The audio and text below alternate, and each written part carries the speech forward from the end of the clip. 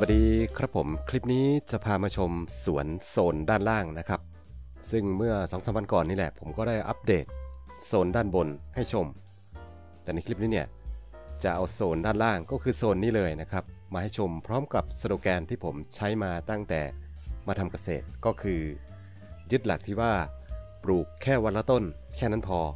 ผลที่ได้มันก็เห็นเป็นแบบนี้นี่เองครับ อันนี้คือเอาแบบขี้เกียจที่สุดเลย เอาแบบ สบายๆนะครับทำเกษตรแบบสบายๆก็คือ ถ้าเราปลูกให้ได้วันละหนึ่งต้นนะครับ อาจจะใช้เวลาแค่ไม่ถึง 10 นาทีนะ แต่เราต้องมีแผนงานอย่างอื่นด้วยนะครับ เอาเป็นว่าถ้าปลูกลงดินแค่วันละหนึ่งต้น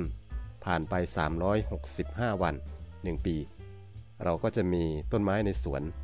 365 ต้น ไม่ใช่ปลูกอย่างเดียวนะ ต้องดูแลนิดนึงนะครับ พยุงให้ถึงหน้าฝนแค่นั้นเอง นี่คือวิธีการที่ผมใช้นะครับ ผมปลูกทุกอย่างเลย ไม่ว่าจะเป็นไม้ผล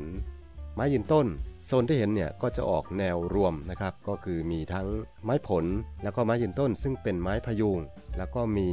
ต้นกล้วย มีต้นแคนะครับ ซึ่งล้วนเป็นทั้งผักและอาหารทั้งนั้นเลย ยกเว้นไม้ยืนต้นนะครับ อันนี้ปลูก ติดสวนไว้เพิ่มมูลค่าเป็นร่มเงา เพิ่มความร่มรื่นให้กับสวน ด้วยสโลแกนปลูกแค่เพียงวันละหนึ่งต้น เอาแบบ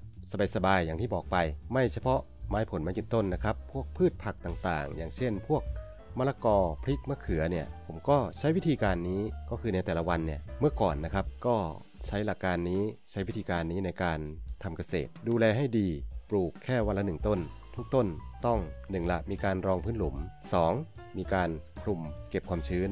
3. มีการรดน้ำไม่ให้ขาดความชื้นนะครับแค่นี้เองต้นไม้ที่เราปลูกเนี่ยก็จะรอดทุกต้น และจะสะสมอยู่ในสวนของเรา อันนี้เป็นไอเดียส่วนตัวผมนะโซนที่เห็นที่มันโล่งๆเนี่ยก็คือเจอปัญหาก็คือน้ำหลากมาเมื่อปีที่แล้วนะครับ ก็เสียหายแต่ก็ปลูกใหม่ ใช้เวลาแค่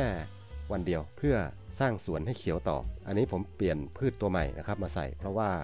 ถ้าเป็นพวกไม้ผลอย่างเช่นลำไยเนี่ยถ้าน้ำมันขังเนี่ยมันเกิดอาการทันทีตายทันทีครับ อันนี้ก็เลยเปลี่ยนเป็นพืชอีกตัวหนึ่งทั้งหมดนี้ก็ใช้เวลาไม่กี่ปีนะครับ แต่ถ้าอยากจะย่นเวลาลงหน่อย ไม่ทำเหมือนผมก็ปลูกวันละสิบต้นไป ซึ่งส่วนใหญ่แล้วผมจะเน้นทำสวนแบบผสมผสานนะครับ ก็มีแปลงหลักแล้วก็มีไม้หลายชนิดนะครับ ซึ่งก็จะเป็นพวกไม้เศรษฐกิจด้วย แล้วก็มีไผ่เอาติดสวนไว้นะครับ เพราะว่ามันเป็นแหล่งอาหารที่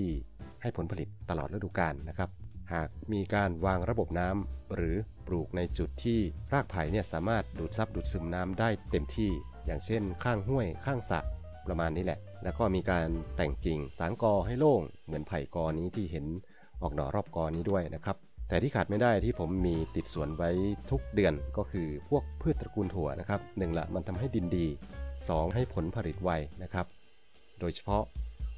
ปลูกคู่กับไม้เศรษฐกิจหรือไม้ผลชนิดต่างๆเนี่ยก็นิยมใช้ถั่ว เพราะว่าหนึ่งละมันปลูกง่าย 2. มันทำให้ดินดีได้ประโยชน์ อีกทั้งยังเป็นไม้พี่เลี้ยงที่ให้ประโยชน์ ทั้งกับคนปลูก เพราะว่าเป็นพืชระยะสั้น ให้ประโยชน์ทั้งกับไม้ที่ปลูกไว้เป็นพืชหลักนั่นเองครับ เพราะว่าด้วยหลักการของไรโซเบียม ที่มีอยู่ในปมรากของพืชตระกูลถั่ว อย่างที่เคยอธิบายไปในหลายคลิป อันนี้ก็คือเทคนิคส่วนตัวนะครับนำมาแชร์นำมาเล่าสู่กันฟังสำหรับคนที่